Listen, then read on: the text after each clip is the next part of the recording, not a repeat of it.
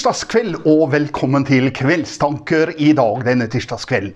I dag har jeg rett og slett ikke hunnet med å komme meg ut i skogen. Eh, det gjør egentlig ingenting, for det var svinaktig kaldt ute i dag.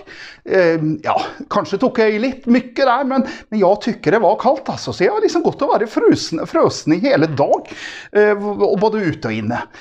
Men nå er jeg her, og det blir kveldstanker herifra i hvert fall. Jeg eh, har lyst til å lese ifra Johannesevangeliet kapittel, eh, kapittel 6 og vers eh, 16. Det var litt dårlig ljus her, så jeg ser litt dårlig, men jeg tror jeg ser teksten i hvert fall. Jesus går på vannet. Når det ble kveld, gikk hans lærjunger ned til sjøen og steg i båten for å ta seg over til Kapernaum på andre siden sjøen. Det var redan mørkt, og Jesus hadde fortfarande ikke kommet til dem.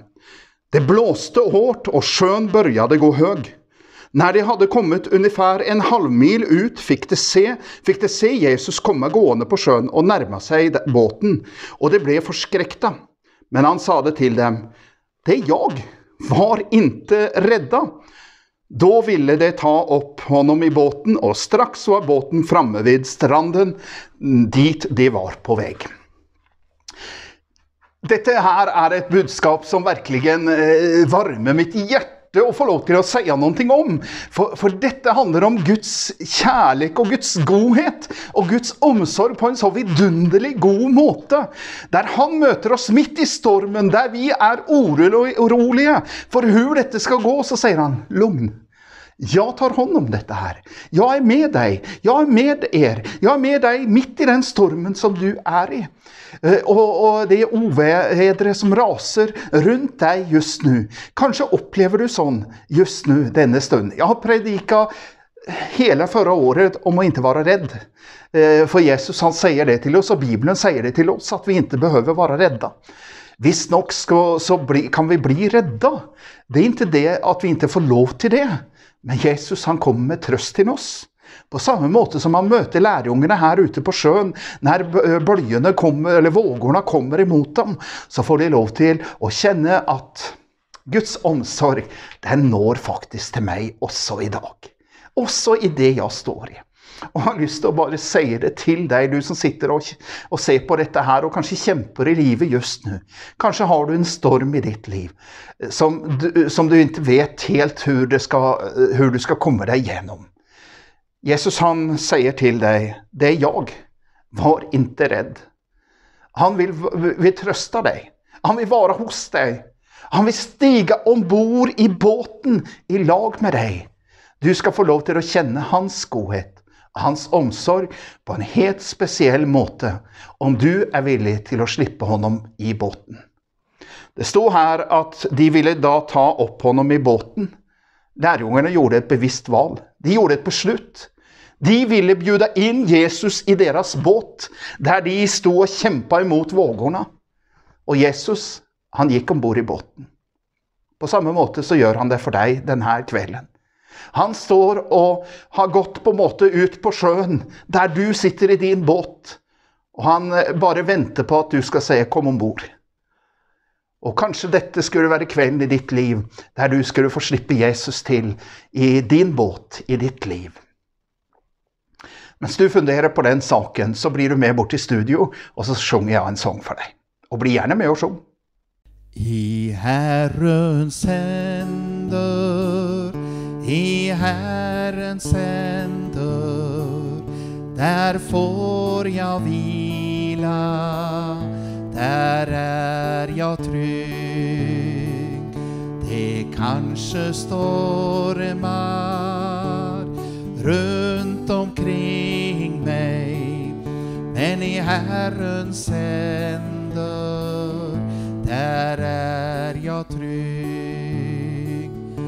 Som när en fågel med bruten vinge vill flyga hem men inte kan. Så kändes allt. Ingen vind som bär mig. Nu flyger fågeln för jag fann att i Herrens händer, i Herrens händer, där får jag vila, där är jag trygg.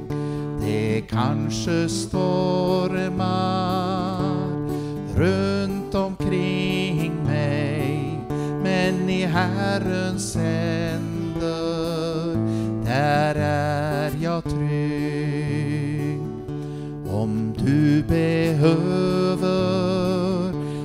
som går med deg dit ingen annan har gått förut, då finns det en som bär din börda.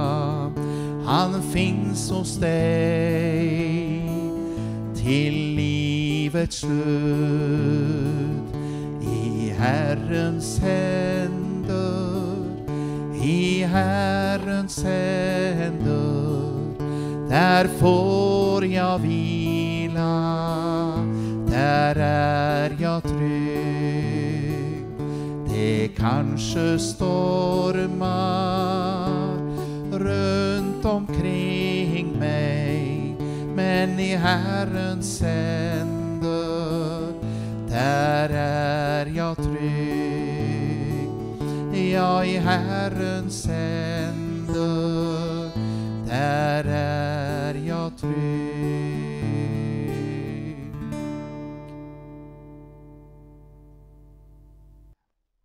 Budskapet denne kvelden, det er enkelt og greit.